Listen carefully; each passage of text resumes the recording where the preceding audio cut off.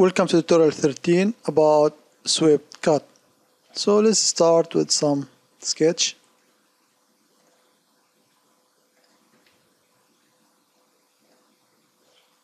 And extrude it.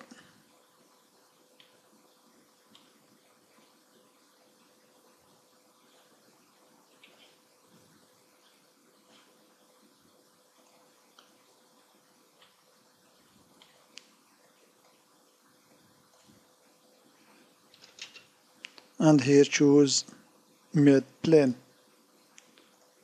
okay. And now let's make another sketch for the sweep path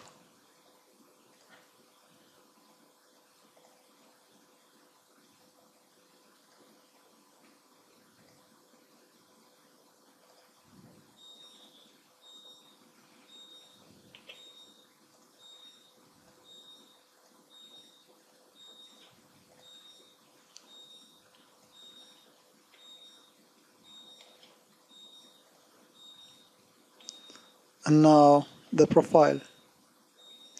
Choose on the front plane.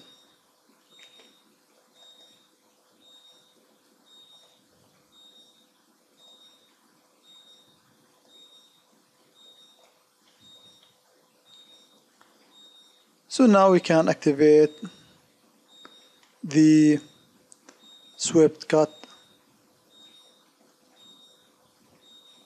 tool here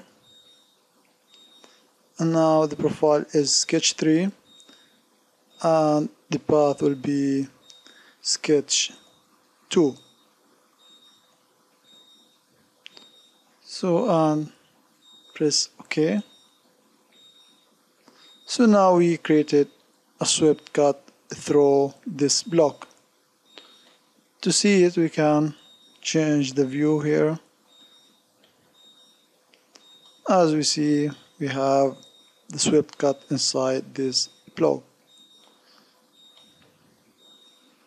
So now I can close this tutorial about swept cut.